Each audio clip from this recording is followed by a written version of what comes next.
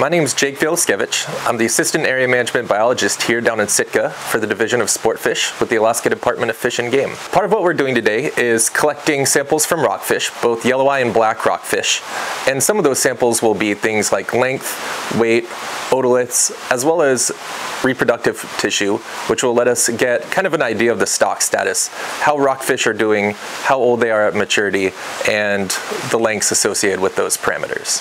We're focused on black and yellow eye rockfish for this study because we're trying to build a larger data set across the state. It's part of the statewide rockfish initiative. Rockfish are pretty important in the sport fishery and their harvest numbers have been increasing here in Southeast and across the state since kind of the early 2000s. Black rockfish feature largely in that pelagic category, which are those fish that live kind of in the water column, versus the non-pelagic rockfish like the yellow eye, which live a bit further down and kind of along the ocean floor.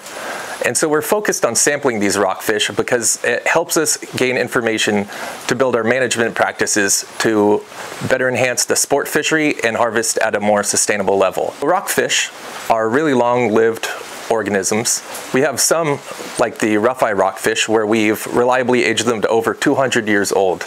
Even some of the smaller rockfish, like black rockfish, which feature really widely in the sport fishery, a two or three pound fish can be 20, 30, even 40 or 50 years old. So we want to build a better data set to manage these fish conservatively.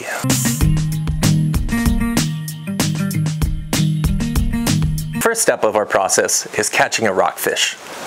We go out fishing around pinnacles or other structure where we can get a rockfish and make sure that we get a rockfish that meets our criteria. So a black or yellow eye rockfish from the chosen area within the selected size category. Next, we take the rockfish to the warehouse and we lay out our sampling materials. The first thing we're gonna do with this rockfish is lay it out on our measuring board and get a good total length and a fork length. Our next step is going to be to weigh the rockfish. So we're gonna grab a scale and take its weight. From there, we're gonna cut open the rockfish and we're gonna take a look at what's inside. The things that we're looking for here are first of all the gonads, as well as the liver. The gonads are usually found towards the vent of the fish and two matching paired organs. For females, they're more globular in shape, which is to say round, and usually mature females you can sort of see the outline of eggs. For males, they're more triangular in cross section, and when they're mature, are more of an opaque white. We'll remove these from the fish and weigh them and photograph them. These gonads will then be cross-sectioned and stored in a fixative so that we can send these off to the lab and see just how reproductive these fish are.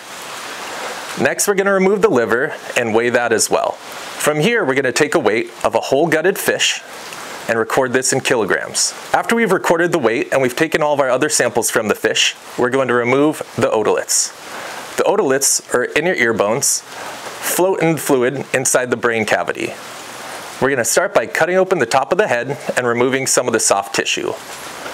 Next, we'll reach inside with some tweezers and remove the otoliths. The otoliths are paired in solid white in color. The otoliths will then be placed inside a bag with all the relevant information that we can tie to this fish and sent to a lab to be aged. Otoliths grow like trees and that they have rings. At a lab, scientists can crack these open, count the rings, and age this fish accurately. For more information about rockfish conservation, feel free to check out our links below.